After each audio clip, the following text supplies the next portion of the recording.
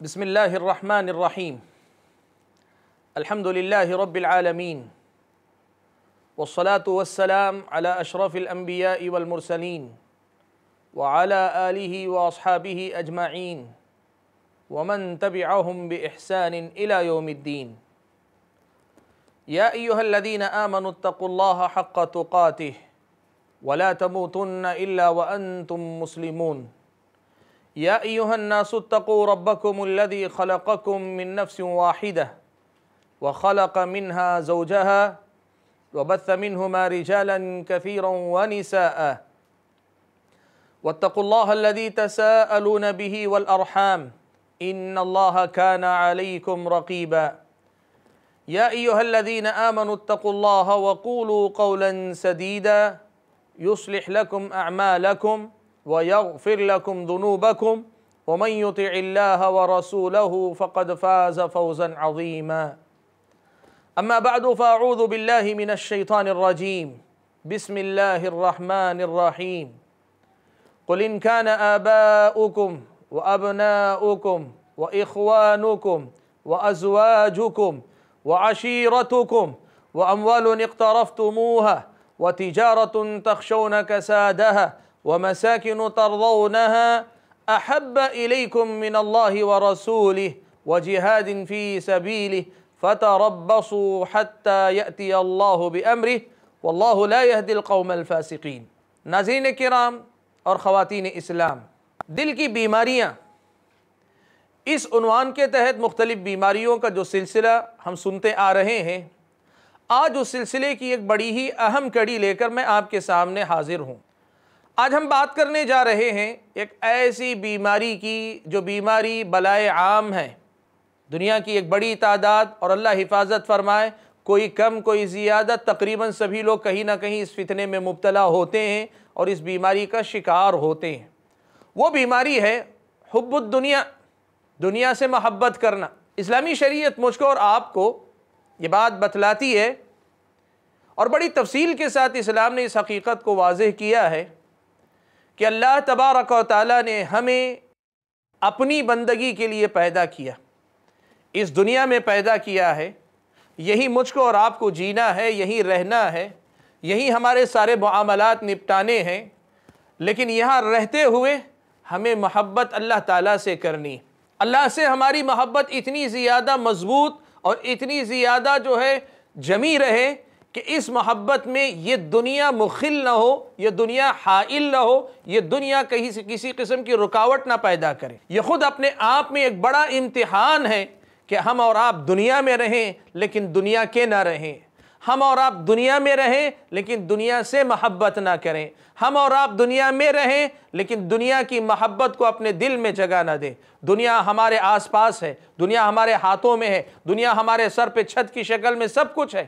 ہر قسم کے چیز و سامان ہم استعمال کریں گے، لیکن یہ ساری کی ساری چیزیں میرے اور آپ کے استعمال میں رہیں گی، لیکن میرے اور آپ کی محبت کی حقدار نہیں رہیں گی۔ انسانی فطرت، انسانی طبیعت کے مطابق ان کی پسند اور ان کی محبت اگر اس درجے میں ہے جہاں وہ اللہ تعالیٰ کی محبت کی راہ میں رکاوٹ نہیں بنتی، دین اسلام سے محبت کی راہ میں رکاوٹ نہیں بنتی، وہ مباح ہے، وہ جائز ہے۔ لیکن اگر یہ محبت اس مقام پر پہنچ جائے جہاں سے وہ اللہ تعالیٰ کی محبت کی راہ میں رکاوٹ بننے لگے، جہاں وہ حائل بننے لگے، درمیان میں حائل ہونے لگے، اسلامی شریعت کی نظر میں ایسی محبت دل کی ایک بیماری ہے۔ ہم اور آپ جانتے ہیں کہ کوئی بھی چیز اگر محبت کے درجے میں پہنچ جاتی ہے تو پھر انسان اس کے لیے دیوانہ ہو جاتا ہے۔ کسی سے بھی انسان کو محبت ہو جائے، کسی بھی چیز سے محبت کر بیٹھتا ہے تو پھر اس کے لیے کچھ بھی کرنے کے لیے تیار ہو جاتا ہے۔ اسی لیے اللہ تعالیٰ سے محبت کرنے کی بات کہی گئی کہ وہ اکیلی وہ ذات ہے کہ جس کے لیے ہم جو وہ چاہے وہ کرے۔ اس لیے کہ ہم اس کے بندے ہیں، اس کے غلام ہیں۔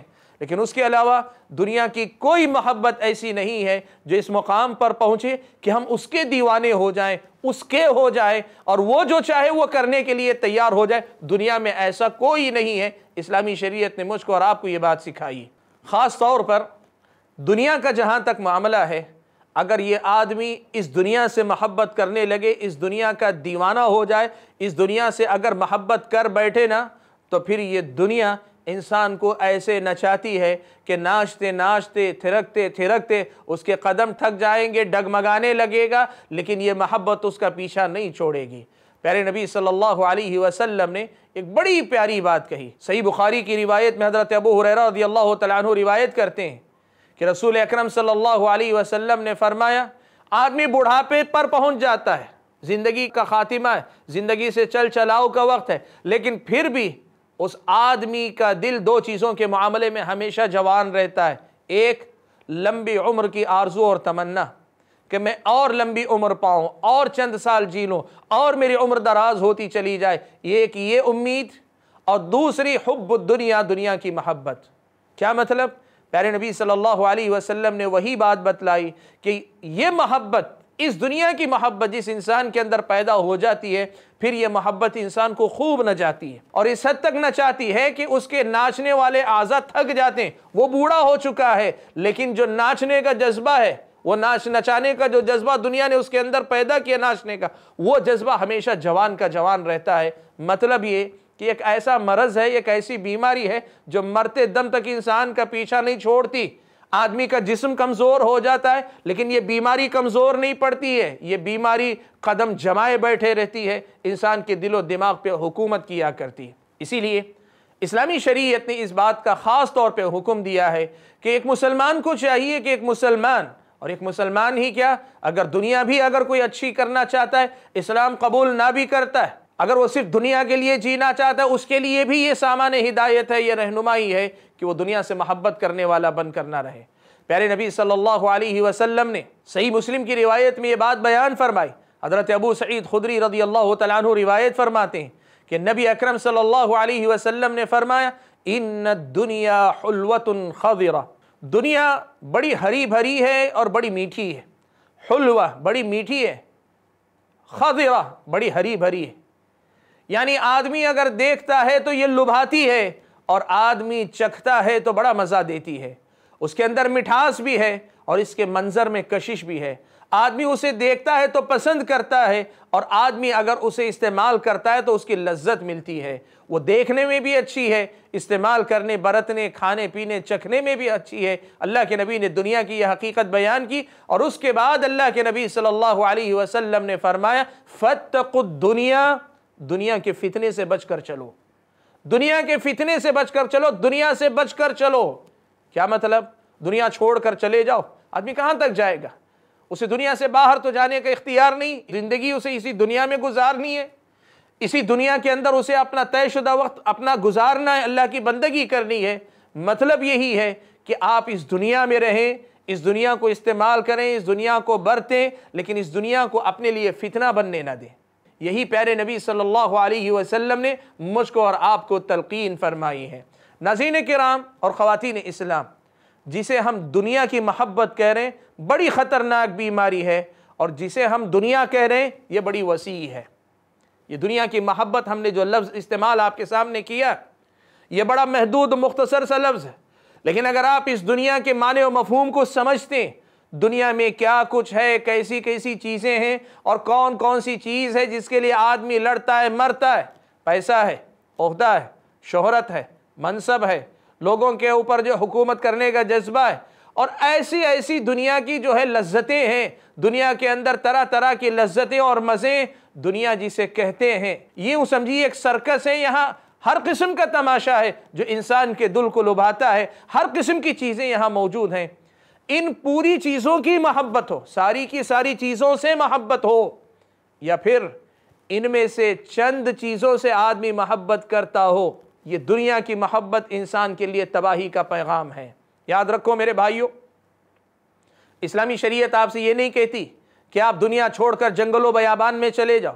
اسلامی شریعت آپ سے ہرگز یہ مطالبہ نہیں کرتی کہ آپ دنیا کے اندر دنیا سے بالکل بھی کوئی تعلق نہ رکھو، اسلام کو یہ پسند نہیں ہے۔ پیارے نبی صلی اللہ علیہ وسلم نے اس سلسلے میں خصوصی تاکید فرمائی۔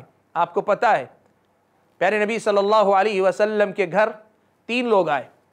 تین لوگ آئے امہات المؤمنین کے پاس اور آ کر اللہ کے نبی صلی اللہ علیہ وسلم کی عبادت سے متعلق تفصیلات معلوم کی کہ اللہ کے نبی مسجد میں باہر جو عبادت کرتے ہیں، اس کے علاوہ گھر کے اندر آپ کی کیا کیا عبادتیں ہوتی ہیں؟ اللہ کے نبی کی عبادتوں کا تذکرہ انہوں نے سنا، کَأَنَّهُمْ تَقَالُّهَا تو ان کو ایسے لگا کہ نبی تو نبی ہیں، آپ اتنی عبادت کرتے ہیں تو ہماری عبادتیں تو کوئی حیثیت نہیں رکھتی۔ انہیں لگا کہ انہوں نے بہت تھوڑا عمل کیا ہے۔ تو اب انہوں نے عمل کرنے کا ارادہ کیا۔ اب دیکھیے عزم کیا کیا انہوں نے؟ ان میں سے ایک نے کہا اما احدہم؟ تینوں میں سے ایک نے کہا کہ بھائی دیکھو میں آج کے بعد کبھی شادی نہیں کروں گا۔ کیوں اس لیے کہ شادی کروں گا، بیوی بچے ہوں گے، ان کے جھمیلے، ان کی ضرورتیں پوری کرنا، کافی کچھ چیزیں ہوں گی۔ اس لیے میں آج کے بعد شادی نہیں کروں گا۔ پہلی بات، میں شادی نہیں کروں گا۔ دوسرے آدمی نے یہ کہا کہ آج کے بعد میں راتوں میں سونا چھوڑ دوں گا، رات رات بھر قیام ہی قیام کرتا رہوں گا، نمازیں ہی نمازیں پڑھتا رہوں گا۔ تیسرے آدمی نے یہ کہا کہ میں آج کے بعد کبھی دن بغیر روزے کے نہیں گزاروں گا۔ ہمیشہ روزے سے رہوں گا، روزے ہی کی حالت میں میرے دن گزاروں گا۔ ایک نے یہ کہا کہ میں سوؤں گا نہیں، رات بھر عبادت کروں گا۔ دوسرے نے کہا میں کھاؤں گا، پیوں گا نہیں، میں روزے سے رہنے کی کوشش کروں گا۔ تیسرے نے کہا کہ میں شادی نہیں کروں گا، عورتوں سے دور رہوں گا۔ پیارے نبی صلی اللہ علیہ وسلم گھر آئے، یہ تینوں جا چکے تھے۔ ام المؤمنین نے سنایا پیارے نبی صلی اللہ علیہ وسلم کو کہ تین لوگ آئے ہوئے تھے جنہوں نے یہ یہ اور یہ کہا ہے۔ اللہ کے نبی صلی اللہ علیہ وسلم مسجد میں تشریف لائے۔ اور آپ نے صحابہ کے سامنے کھڑے ہو کر یہ بات کہی کہ لوگوں سنو، اما انی اخشاکم للہ واتقاکم لہ۔ میں تم میں اللہ سے سب سے زیادہ ڈرنے والا اور اللہ تعالیٰ کا سب سے زیادہ متقی بندہ ہوں۔ لیکن تقوی کا معیار کیا ہے؟ اللہ تعالیٰ سے ڈرنے کا مطلب کیا ہے؟ اس کا مطلب کیا؟ اللہ کے نبی نے اس سے ان کو کہا، دیکھو میں رات میں عبادت کرتا ہوں، لیکن میں سوتا بھی ہوں۔ اس کا مطلب کیا؟ جس نے یہ کہا، میں رات رات بھر نماز پڑھوں گا، سوؤں گا نہیں، آرام نہیں کروں گا، اس نے غلط کہا۔ اللہ کے نبی نے کہا واسوم و افطر میں روزہ رکھتا بھی ہوں، روزہ چھوڑتا بھی ہوں۔ کیا مطلب؟ مطلب یہ کہ جس نے یہ کہا، میں صرف روزہ ہی روزہ رکھوں گا، کبھی بغیر روزے کے نہیں رہوں گا، یہ اس نے غلط کہا۔ اور تیسرے نے یہ کہا، میں شادی نہیں کروں گا. اللہ کے نبی نے کہا وَتَزَوُّجُ النِّسَاء. میں نے عورتوں سے شادیاں کی ہوئی ہیں، میں شادی کرتا ہوں۔ کیا مطلب؟ عورتوں کو چھوڑ دینا یہ کمال نہیں، شادی سے دور رہنا یہ کمال نہیں۔ شادی کر کے اس کی ذمہ داریوں کو نبھانا، ان کے تقاضوں کو پورا کرنا، یہ تقوی کا کمال، یہ ہے اللہ تعالیٰ سے حقیقت میں ڈرنا۔ اور اس کے بعد اللہ کے نبی نے فرمایا، فمن رغب عن سنتی فلیس منی جو میرے راستے سے منہ موڑے گا وہ مجھ سے نہیں ہے۔ یہاں ایک لفظ میں استعمال کروں تو آپ برا نہ سمجھیں۔ اللہ کے نبی نے یوں کہا، جو دنیا کو پوری طریقے سے چھوڑ دے اور میری طرح دنیا میں رہ کر دنیا کو برت کر متقی نہ بنے، وہ میرے راستے پر نہیں، جو دنیا سے بالکل لیا بچنے کی بات کرے، وہ میرے راستے پر نہیں، یہ اللہ کے نبی نے کہا ہے۔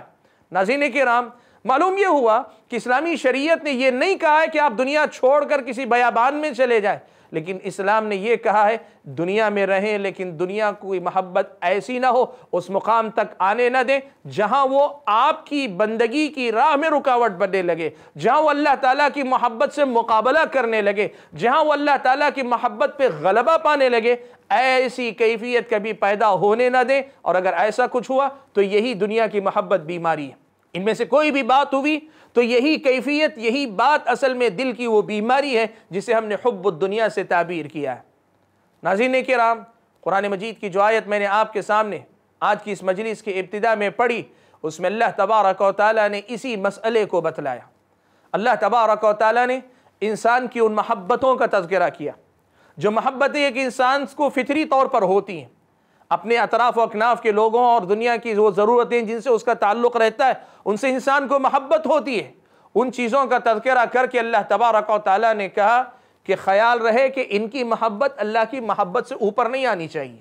اللہ اور اس کے رسول کی محبت ان دونوں سے اوپر ہونی چاہیے۔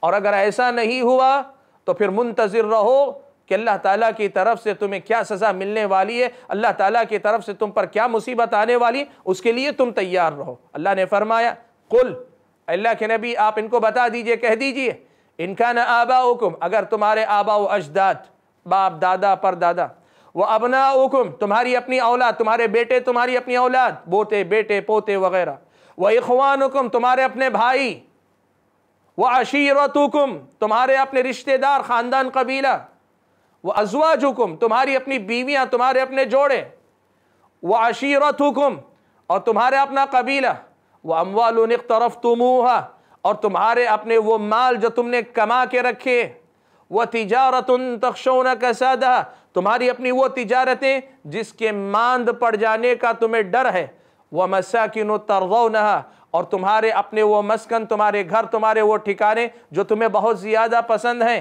احب الیکم من اللہ ورسولی وجہاد فی سبیلی اگر ان میں سے کسی کی محبت، ظاہر بات ہے انسان کو ان سب چیزوں سے محبت ہوتی ہے۔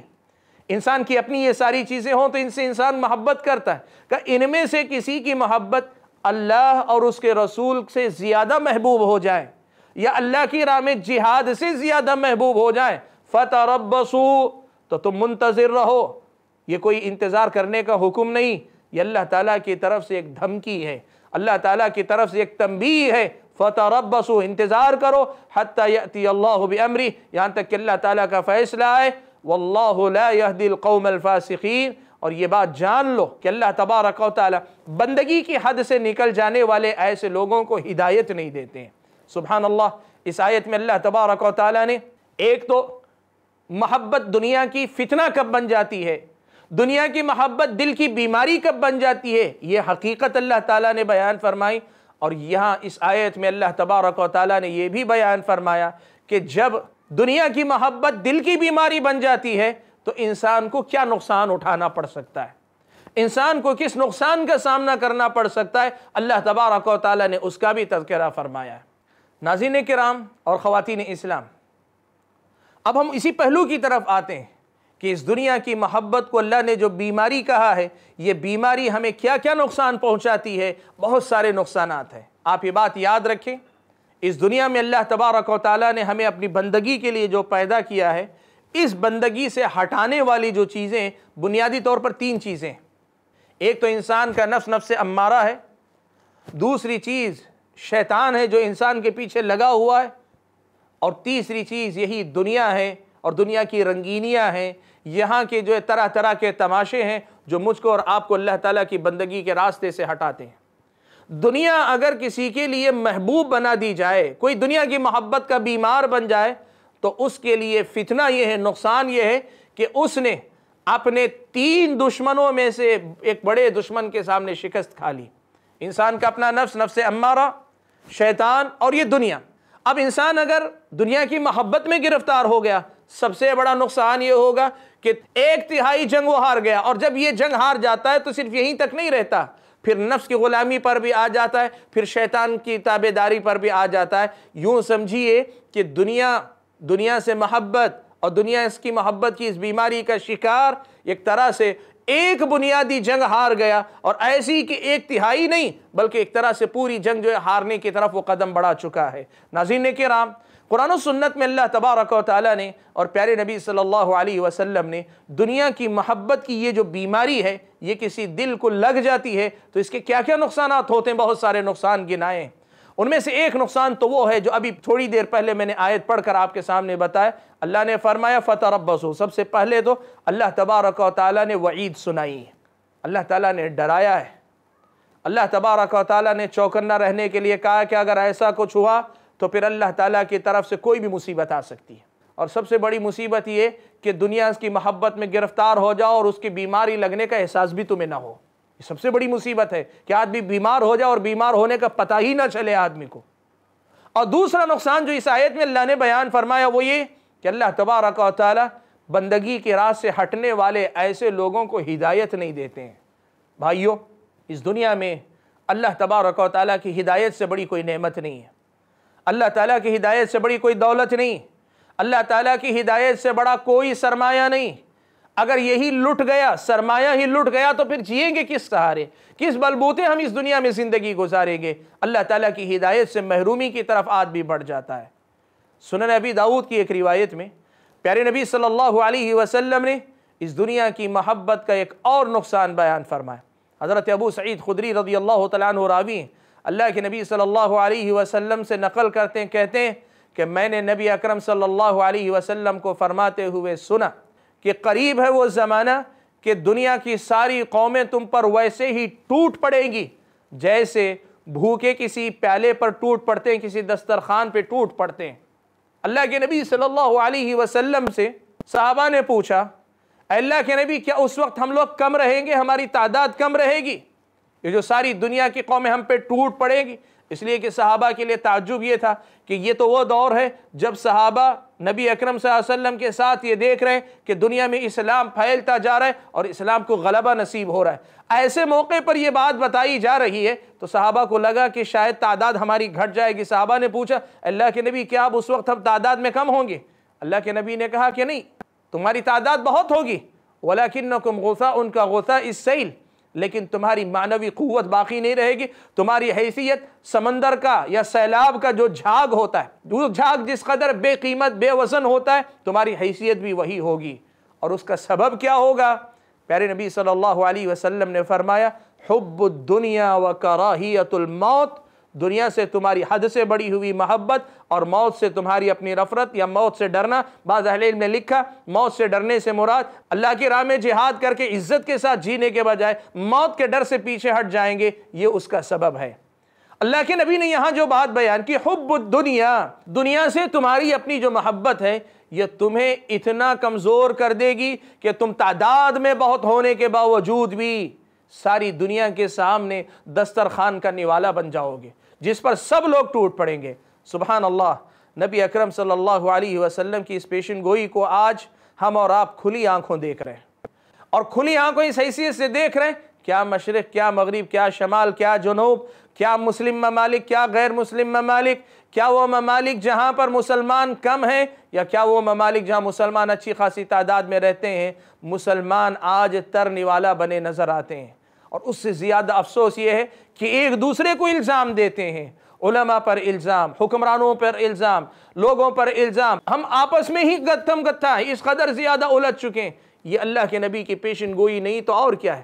اللہ کے نبی نے اس میں بڑی وضاحت کے ساتھ اس سبب کا، اس صورتحال کا ایک بنیادی مرض، ایک بنیادی سبب اللہ کے نبی نے یہ بھی بتایا ہے کہ دنیا کی حد سے بڑی ہوئی محبت تمہیں اس حالت تک پہنچائے گی۔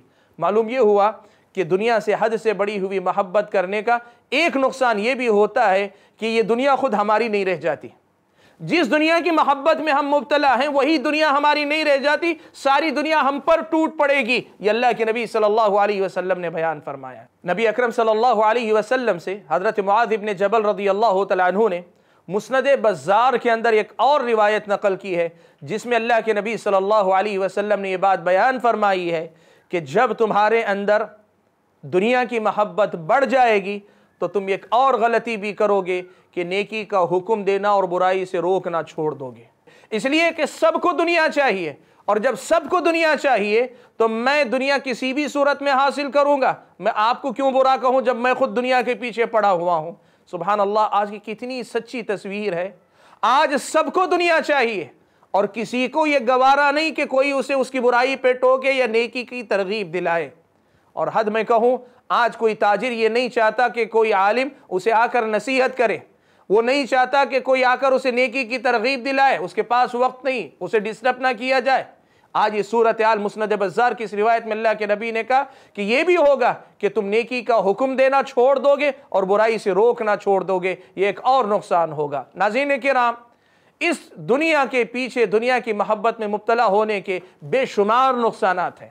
بطور نمونہ میں نے صرف چند نقصانات گنائے ہیں، ورنہ اگر آپ ان نقصانات کو دیکھنا چاہیں، یہ دل کی بیماری آدمی کو لگتی ہے تو کیسے کیسے نقصانات سے دوچار کرتی ہے، ایک لمبی فہرست آپ کے سامنے آ سکتی ہے۔ میں اپنی بات کو مختصر کرتے ہوئے آپ کے سامنے بس یہی بات رکھنا چاہتا ہوں کہ دل کی اس بیماری دنیا کی حد سے بڑی ہوئی محبت کو اپنے دل سے دور رکھنے کی کوشش کریں۔ اللہ سے دعا کیجیے کہ اللہ تبارک و تعالی اس بیماری سے ہماری حفاظت فرمائے، قلب سلیم کی دولت سے اللہ تعالی مرتے دم تک ہم سب کو مالا مال رکھے۔ آمین۔ و آخر دعوانا الحمدللہ رب العالمین۔ والسلام علیکم ورحمت اللہ وبرکاتہ۔